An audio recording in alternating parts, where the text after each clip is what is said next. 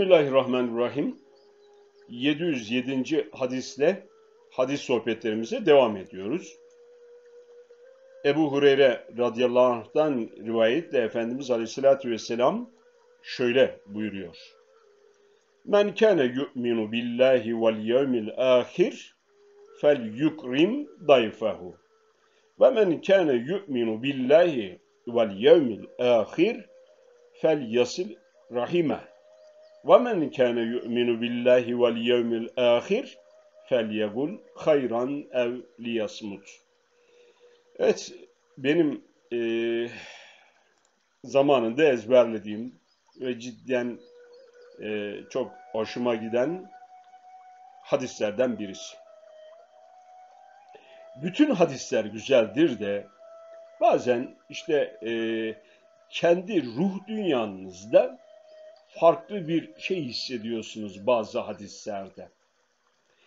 O hadislerden birisi de bu. Şöyle başlıyor. Allah'a ve ahiret gününe iman eden kimse. Bunu üç defa tekrar ediyor. Ve birincisinde diyor ki Allah'a ve ahiret gününe iman eden kimse misafirine ikram etsin. Allah'a ve ahiret gününe iman eden kimse akrabasına iyilik etsin. Allah'a ve ahiret gününe iman eden kimse ya hayır söylesin ya da sussun. Evet. Yani Buhari'de, Müslim'de, Ebu Davud'da, Tirmizi'de, İbn Mace'de e, yer alan bu hadis gerçekten önemli. Evet, komşu hakkı ile ilgili olan bir husus var. Ona e, iyi davransın, ikram etsin ki öyle de var. Komşusuna ikram etsin, ona iyi davransın. Evet, bir de misafire ikram meselesi var burada. Başka ne var? Allah'a ve ahiret gününe iman eden kimsenin ya hayır söylemesi, faydalı, yararlı bir şey söylemesi ya da susması. Ya hayatımızda var ya, inanın hep bunlar rahatlıkla yerine getirilse, yani herkes birbirinin akrabası, herkes akrabasına sahip çıksa, yani ortalıkta e, ciddi anlamda bir mağdur, mağduriyet yaşanmaz. Mağdurlar olmaz. Çünkü herkes akrabasına sahip çıkıyor. Yani onu iyiliklerde teşvik ediyor, kötülüklerden uzaklaştırıyor. El emri bil maruf ve nehi anil münker prensibi içerisinde. Şimdi e, yani hakikaten günümüzde buna çok ama çok ihtiyacımız var. Ve insanlar maalesef dinden, imandan, Kur'an'dan, Allah korkusundan, haramdan, helalden uzaklaştıkça e, durum e, kötüye doğru gidiyor maalesef.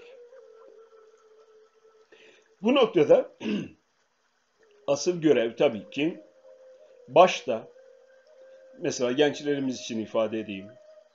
Ana baba, sonra dede nine, sonra amca, halı, teyze, dayı gibi. Yani onların da bu işin içerisine girmesi lazım ki gençlerimiz, çocuklarımız kötülüklerden uzak yaşasınlar. Yani zaman zaman gençlik hissiyatıyla zira gençlik akıldan çok hisse kapılmaktır. Hissine mağlup olmaktır.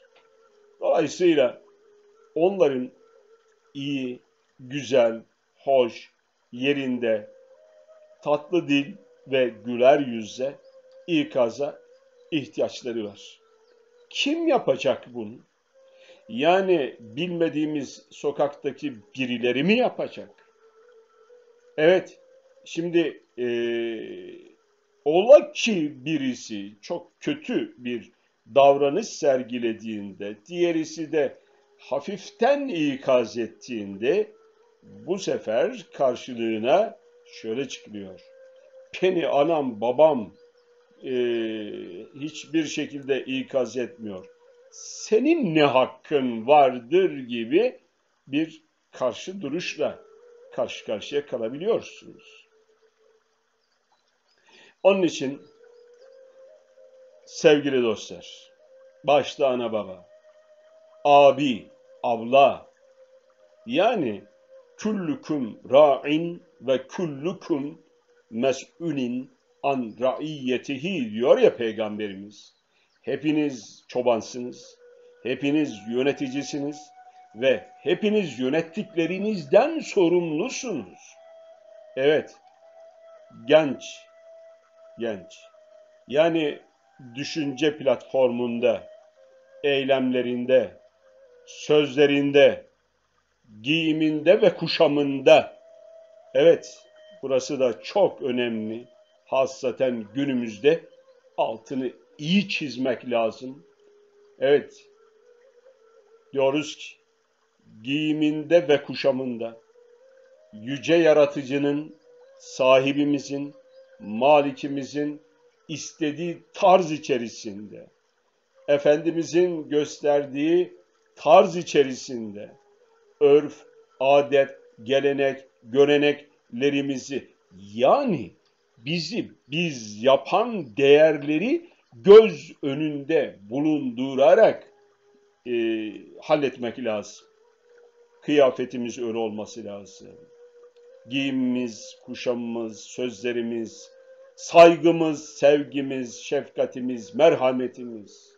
Evet, yani bazı hadislerde de Allah'a ve ahiret gününe iman edenin büyüklerine saygı, küçüklerine de şefkat etmesi, merhamet etmesi, onları sevmesi isteniliyor. Yani bu noktadan baktığımızda gerçekten bu hadislerin ortaya koymuş oldukları o güzel kültür yaşanır ve yaşatılırsa dünyadayken cenneti yaşıyor olacağımızdan hiç ama hiç şüpheniz olmasın. İnşallah devam edeceğiz. Allah'a emanet olun.